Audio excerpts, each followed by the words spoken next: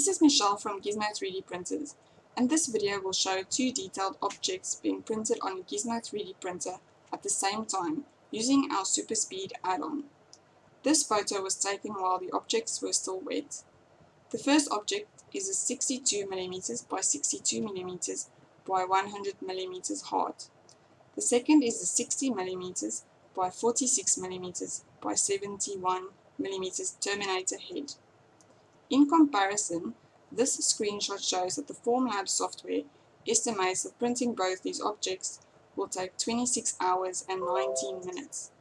The MakerBot software shows an estimate of 26 hours and 7 minutes print time. Whereas the real-time video that you're about to watch shows that a Gizmo 3D printer printed both objects in 1 hour and 36 minutes. It was printed at 1 millimeter per minute.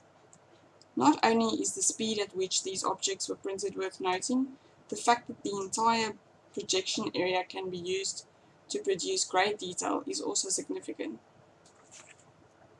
Thanks for watching.